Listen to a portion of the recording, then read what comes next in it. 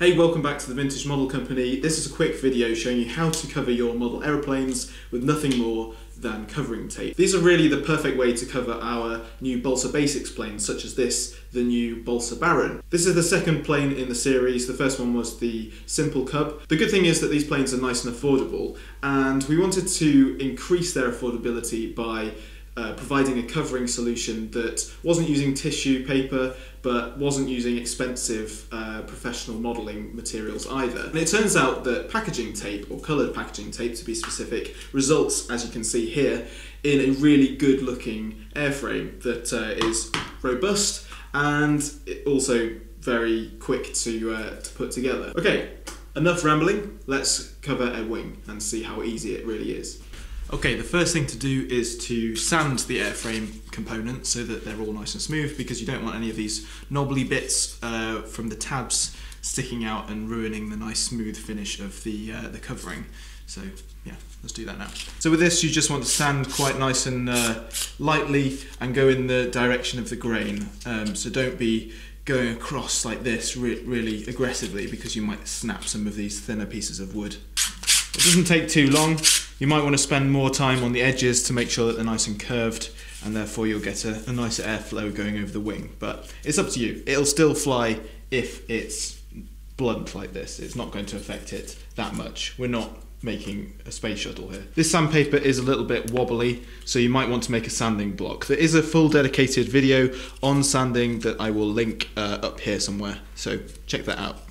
To start with, I'm going to show you how to cover the aileron because it's nice and flat uh, and a good starting point. So to start with, we're just going to sort of measure a piece of tape by pulling it out like that. So this one almost goes over the entire thing. It's almost wide enough, but we're going to need two pieces. So I'm going to cut two pieces that are about this length. I'm going to measure that again. And this is where the card comes in. I'm going to take this piece, just roughly lay it over the top. When the piece is down, you can start to sort of smooth the air bubbles out. I like to do this kind of pattern because it seems to uh, scrape all of the air out of the sides of the tape rather than just pushing it along. You don't have to push very hard, you just sort of go across like that and just smooth out any wrinkles with your, with your finger. Now we can put the next piece on. We've got a little bit of an overlap there of about a millimetre just to make sure it is actually covered. Now what we can do is go along the edge. I like to leave a bit of a, of a perimeter. Now you can just smooth the edges out like that. Now this edge is going to be a bit complicated, so what I like to do is just make some score cuts in the uh, in the tape like this. And now there are some cuts in there, they can sort of roll around easier. Now obviously you can spend a bit of time on this and make it look a bit prettier than I'm doing right now. But uh, yeah, once this is all pinned back like this, you can put some more tape on the top and that will secure all of those edges from, uh, from coming undone again. Using a sharp knife here would be uh, preferable.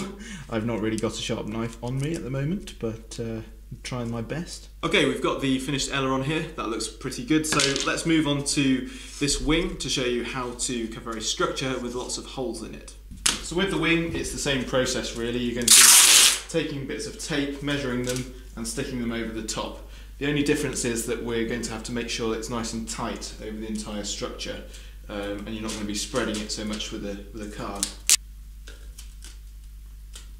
Alright, so there's one layer down. Um, I've made sure to sort of run it up to the edges and to uh, keep it nice and tight over each one of these ribs. Um, you can sort of run your finger over each one to make sure that it's uh, actually stuck down to it. But yeah, as you can see with this, the tension's pretty good. Um, so now we're just going to do the rest and just strip, strip, strip.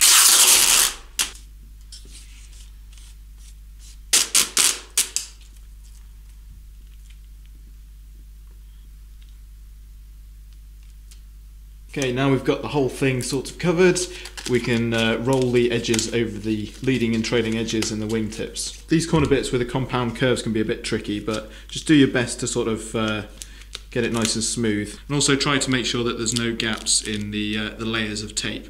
You can sort of run your finger over these uh, overlaps like this. Okay, with the tape on the top and the bottom, the wing is now flyable. If you tap it like this, you can see that it's uh, nice and tight, but we're going to tighten it a little bit further with the heat gun. Now you have to be quite careful when using a heat gun like this because it is quite hot and it will melt this fairly easily, much more easily than it would with standard Oracover or some sort of professional uh, covering material. As a hairdryer actually produces less heat than this thing, um, we'd probably recommend that you use that over a professional heat gun. So don't go out and buy one of these specially, just use a hairdryer to shrink the surface that little bit extra.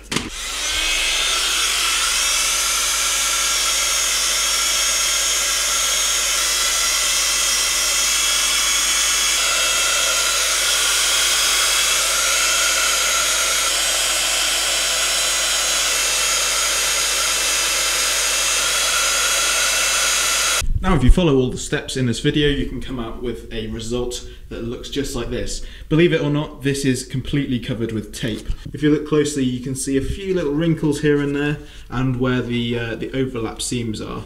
And this is literally a piece of paper with some black tape on it to make a decal. So if you want to go this basic you can get some good results literally from a, a piece of tape that costs you next to nothing. And just for your reference this is a Cub fuselage covered in Oracover, and this is the Baron covered in packaging tape. So fairly similar in the long run. Alright, that's about it from this Vintage Model Company tutorial video. Make sure to tune in next time for another one. Cheers!